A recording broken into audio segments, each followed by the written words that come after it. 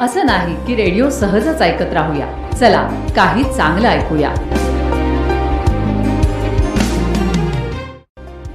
मित्रांनो बऱ्याच वेळेला आपण वरवरचा विचार करतो आणि प्रत्यक्षात असणाऱ्या गोष्टी मात्र लक्षात घ्यायला विसरतो. आनंदाने जगताना आपण इथं मात्र चुकतो. नमस्कार. Ninety point four green F एमवर मी आहे प्रतिमा. चला काही चांगलं ऐकूयात. एका साधूजवळ एक परीस होता. तो लोखंडाला लावला असता लोखंडाचं सोनं होत होतं. एकदा तो साधू फिरता फिरता एका माणसाच्या घरी गेला. रात्री त्या घरी राहायचे आणि पहाटे निघून जायचे असा त्याचा विचार होता. त्या माणसाचं घर म्हणजे झोपडीच होती. साधू दारात जाताच त्याच्या अंगावर पाण्याचे थेंब पडले. कारण दारातून थेंब थेंब पाणी टपकत होतं. साधूचे कपडे ओले झाले. साधू आल्याचे त्या माणसाच्या बायकोने पाहिले. लगेचच तिनं ओसरीत पाठ टाकला. साधूचे पाय धुतले तांब्या भरून आणला. साधूने संध्या केली. तेवढ्यात तिचा नवरा घरी आला. त्या माणसाच्या डोक्यावर लाकडाची मोळी होती. त्याने ती खाली ठेवली. ते कुटुंब अतिशय गरीब होते. तरी त्यांनी साधूची मनोभावे सेवा केली. त्यांच्याकडे एक गाय होती. त्या घरातल्या स्त्रीने तिचे दूध काढले आणि त्या दुधापासून लोणी तयार केलं. खिचडीचा स्वयंपाक केला अशी सगळी तयारी करून तिने साधू आणि तिचा नवरा या दोघांसाठी ताटे वाढली जेवण झाल्यानंतर तिने साधूच्या झोपण्याची व्यवस्था केली. त्यांच्याकडे एक तुटकी खाट होती. तिच्यावर तिनं त्यांच्याकडे असलेली एक फाटकी वाकळ अंथरली आणि मग साधूचे पाय धुतले पाय चेपून दिले. त्यांच्या सेवेने साधू संतुष्ट झाला.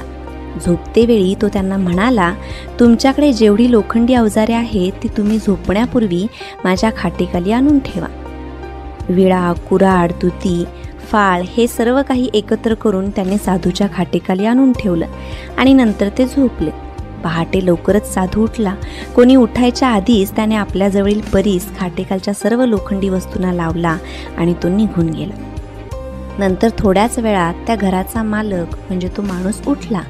शेतावर जाण्याची तयारी केली. शेतीची सगळी अवजारं घेतली आणि शेतावर गेला. त्याने वखर जुंपले तर वखराचा लोखंडी फाळच वाकला. तुतीने माती काढू लागला तर माती निघेना विळ्याने गवत कापू लागला तर ते कापलंच जाईना.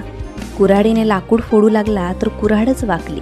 संतप्त होऊन त्याने सर्व अवजारे डोक्यावर घेतली आणि तो घरी परतला. अंगणातच सगळी अवजारे फेकली आणि तिथूनच तो ओरडला अगं तू काल कुणाला आश्रय दिला होतास? त्या साधूनं जादूटोणा केलाय माझी सगळी अवजारे वाया गेली आहेत. त्याचे ओरडणे ऐकून ती स्त्री लगबगीनं बाहेर आली.